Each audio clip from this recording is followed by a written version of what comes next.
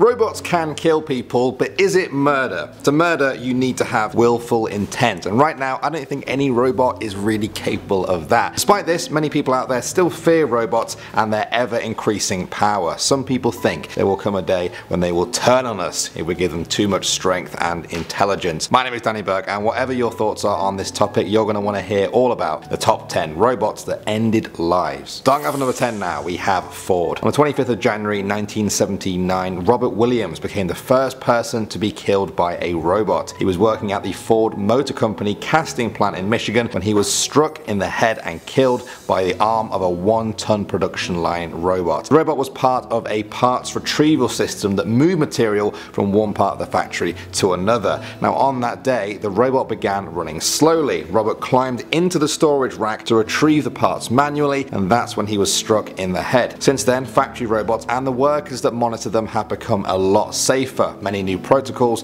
have helped make the whole environment better. Next up at number 9 now we have the Tesla. As a fully automated self-driving car, some people see the Tesla Model S as more artificial intelligence than just plain old car. On May 7, 2016, the tech world was stunned when Joshua Brown became the first person to be killed in a self-driving car accident. He was driving his Model S when it collided with a truck while engaged in autopilot mode. The car requires the driver to keep their hands on the wheel even in autopilot. An investigation found that during the 37 minute drive, Brown had his hands on the wheel for just 25 seconds. Some people said this was proof of the dangers of self-driving cars, but a Tesla spokesperson said the autopilot does not allow the driver to abdicate responsibility. Next up at number 8 now we have electrocution. In August 2015, 24 year old Ramji Lal was killed by a robot in a factory in India. It was a car parts factory and Ramji had been working there for about 18 months when it happened. He was working with a robot that is programmed to weld metal sheets together. One of them got dislodged so Ramji reached behind the machine to adjust it. At that point the machine sparked back to life and pierced Ramji's abdomen. It was reported that at that point Ramji was electrocuted and died almost instantly. The company management and the contractor were charged with causing death due to negligence. Next up at number 7 now we have Wanda Holbrook. In 2015 Wanda Holbrook, a technician at an auto parts factory in Michigan was killed by a malfunctioning robot. The 57 year old was working on the robot when its arm swung out and crushed her head, killing her. It was a devastating shock to her husband,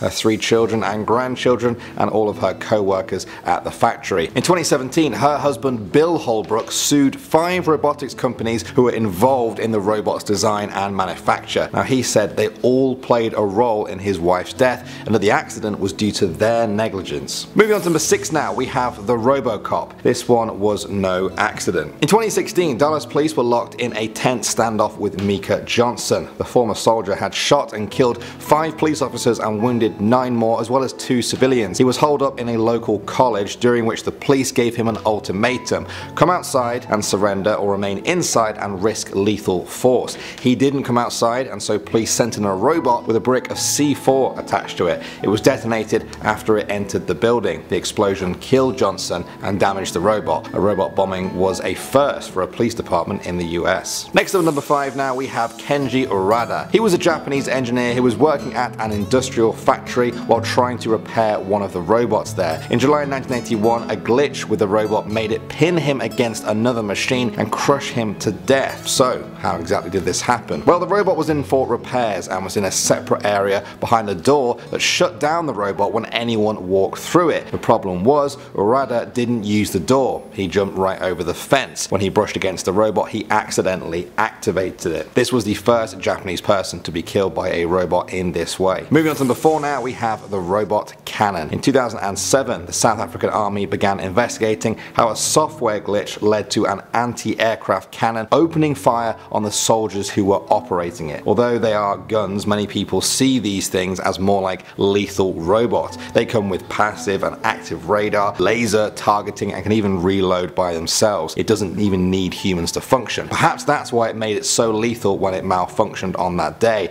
The gun sprayed hundreds of high explosive cannon shells around the area and only stopped when it was empty, by which point 9 soldiers were dead and 11 injured. Moving on to number 3 now, we have the robot surgeons. A 2013 report in the US found that over the previous 5 years, robot assisted surgery had been linked to the deaths of 144 people in the country. Robotic surgery has been praised as one of the great medical advances of the century, but sometimes there have been fatal errors. The robots allow surgeons to enter much smaller parts of the human body. Sometimes the surgeons don't even need to be in the same room, building, or even country. Of the deaths noted in the report, the causes range from system errors causing delays to bits of machinery falling into the patient's open wounds. Alright, next up at number 2 now we have Volkswagen. In 2015, German car manufacturer Volkswagen announced that a robot had killed a contractor at one of their production plants. The unnamed 22 year old was part of a team setting up the robot when it grabbed him and crushed him against a metal plate. A spokesperson for the company said that an early investigation seemed to point the blame at human error rather than a problem with the robot. He said it normally operates within a confined area at the plant, grabbing auto parts and manufacturing them. Prosecutors were considering whether to bring charges and if so, against whom. And finally number one now we have McDonald's. In 2009 a malfunctioning robot killed Maria Vital when she was working at a factory that supplies McDonald's. The robot was a palletizer. Its only job is to stack boxes on a pallet. Now at some point